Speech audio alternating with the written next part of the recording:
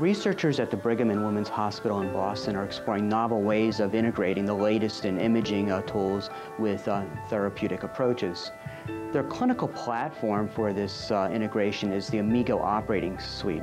AMIGO is an acronym which stands for Advanced Multidisciplinary Image Guided Operating Suite. It's a 5,700 square foot uh, theater that includes PET-CT, computer-assisted fluoroscopy, 3T MRI, 3D ultrasound, as well as advanced navigational, robotics, and drug delivery uh, tools.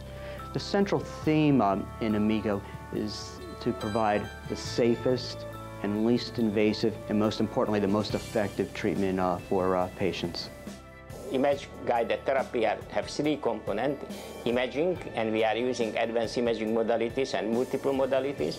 The second is guidance, which is mostly based on computerized navigation tools. And finally, therapy, which is a combination and integration of therapy delivery systems with imaging and image guidance systems. So practically what we are working on in, in a major integration of these three components and applying them for a given clinical application. The Center grant was established with multiple cores that support both the clinical programs in neurosurgery and prostate cancer and focused ultrasound surgery, um, but now also have cores in navigation, image-guided computer registration, and the sort of computational core, as we call it, and some of the much more fundamental, basic research that goes into the registration segmentation of image data before, during, and after a procedure so that the operator can uh, integrate in their minds all of the modalities.